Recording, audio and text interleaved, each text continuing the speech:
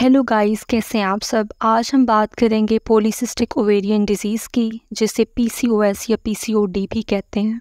ये आजकल का बहुत कॉमन इशू है, जो आलमोस्ट हर दस में से तीन से चार गर्ल्स फेस कर रही हैं इस वीडियो में मैं कोशिश करूँगी कि मैं इस पूरे टॉपिक को कवर करूँ, जिसमें मैं बताऊँगी कि पोलिसिस्टिक ओवेरियन डिज़ीज़ एक्चुअली है क्या, क्यों होती है, इसे कंफर्म कैसे करते हैं, इसकी कॉम्प्लिकेशंस क्या हैं और इसकी ट्रीटमेंट क्या है।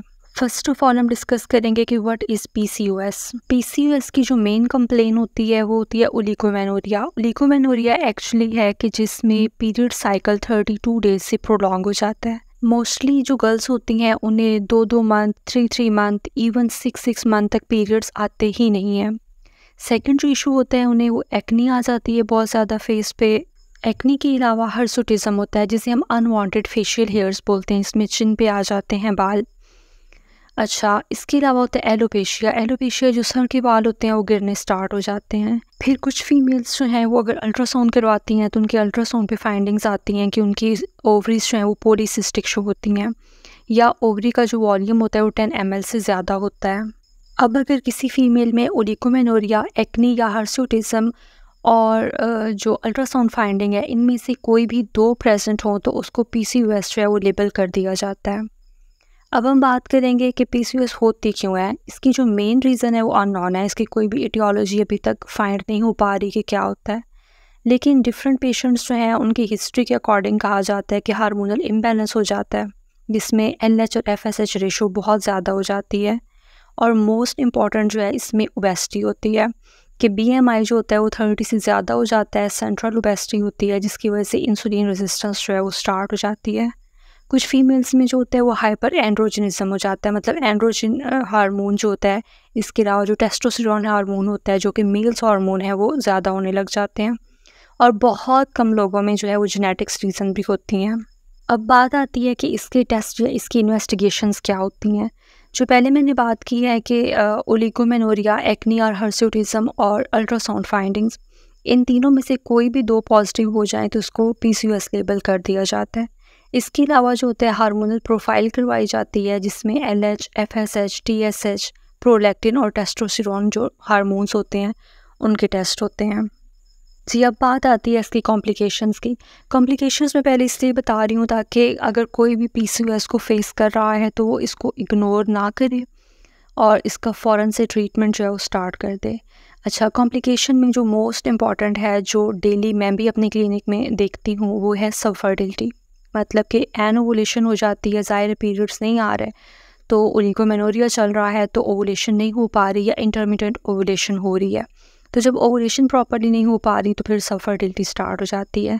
इसके अलावा जो कॉमन इशू होता है कि इंसुलिन रेजिस्टेंस हो रही है, जिसकी वजह से टाइप टू डायबिटीज़ मिलाइटिस के चांसेस बहुत ज़्यादा बढ़ जाते हैं।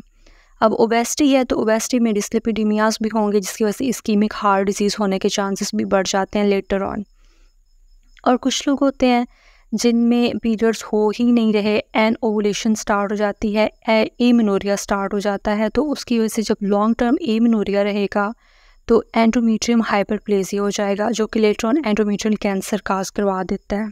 अब आ जाता है जी मोस्ट इंपॉर्टेंट बात, वो है पीसीओएस का ट्रीटमेंट पीसीओएस का ट्रीटमेंट जो है, वो मोस्ट मोस्ट जो इंपॉर्टेंट है, वो है lifestyle modification sixty percent patient जो है, वो लाइफ स्टाइल मोडिफिकेशन से ही कवर कर जाते हैं। अब लाइफस्टाइल मॉडिफिकेशन में आपने करना ये है कि आपने अपना वेट रिडक्शन करना है, अपनी डेली वॉक करनी है वॉक एक्सरसाइज इससे आपने अपनी लाइफ की एक रूटीन बना लेनी है। इसके साथ साथ आएगा आपका डाइट प्लान जिसमें डेरी जो है उसे आपने फुली अवॉइड करना है जंक आपने फुली अवॉइड करना है, आपने वेजिटेबल का इस्तेमाल ज़्यादा से ज़्यादा करना है। और एक प्रॉपर जो है वो पी का डाइट प्लान होता है, जो कि यूट्यूब मेरे चैनल पे भी अवेलेबल है, आप उसे इस्तेमाल कर सकते हैं। इन चीज़ की ट्रीटमेंट में आ जाता है सीड साइकिलिंग जो कि आजकल बहुत बहुत ज़्यादा इन है और उसके बहुत ज़्यादा अच्छे रिज़ल्ट हैं। इवन मैंने बहुत से लोगों को फॉलो करवाया है तो इसके बहुत ज़्यादा अच्छे आउटकम्स आए हैं। अब सीड साइकिलिंग है क्या? कि पूरा जो हमारा पीरियड साइकिल है, वो थर्टी डेज़ का होता है, उसे हमने टू पार्ट्स में डिवाइड्स कर देना है। पहले fifteen days and last fifteen days पहले फिफ्टीन डेज़ आपने दो सीड्स इस्तेमाल करने हैं, जिसमें आपने एक चम्मच लेनी है फ्लेक्स सीड्स की और एक चम्मच आपने लेनी है पम्पकिन सीड्स की। अब ये सीड्स आपने थोड़े से ग्राइंड करने हैं लाइक हल्के दादर किए हुए होंगे। नेक्स्ट जो फिफ्टीन डेज़ होंगे मतलब जो सेकेंड हाफ़ होगा, उसमें आपने लेने हैं सेसमी सीड्स और सनफ्लावर सीड्स ये जो सीड साइकिलिंग है, इसे आपने कॉन्टीन्यूसली फॉलो करते रहना है, क्योंकि इसके जो रिज़ल्ट्स हैं, वो बहुत ज़्यादा अमेजिंग हैं।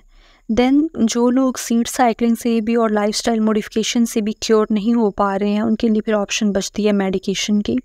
मेडिकेशन के लिए आप कोई भी अपने नियर बाय जो आपका डॉक्टर है गायनोकोलॉजिस्ट हैं, आप उनसे कंसल्ट कर सकते हैं और वो आपकी जो है अंडरलाइन कॉज को देख के वो आपकी ट्रीटमेंट स्टार्ट कर देंगी। पी जो है वो इग्नोर होने वाली या अवॉइड करने वाली चीज़ बिल्कुल नहीं है। आपको इस पर वर्क करना चाहिए। इसमें सिक्सटी परसेंट तक जो लोग होते हैं, वो वॉक से लाइफस्टाइल मॉडिफिकेशन से ठीक हो जाते हैं। थर्टी परसेंट तक जो लोग होते हैं, वो सीट साइकिलिंग से कवर हो जाते हैं। पीछे बचते हैं टेन परसेंट लोग, उन्हें ज़रूरत पड़ती है मेडिकेशन की। जो लोग भी ये इशू फेस कर रहे हैं, वो आज से ही इस पर वर्क करना स्टार्ट कर दें। इन इंशाल्लाह आपको बहुत अच्छे आउटकम्स मिलेंगे। अगर आपको वीडियो अच्छी लगी हो तो लाइक कर दें, सब्सक्राइब कर दें। Thank you so much. अल्लाह हाफिज़।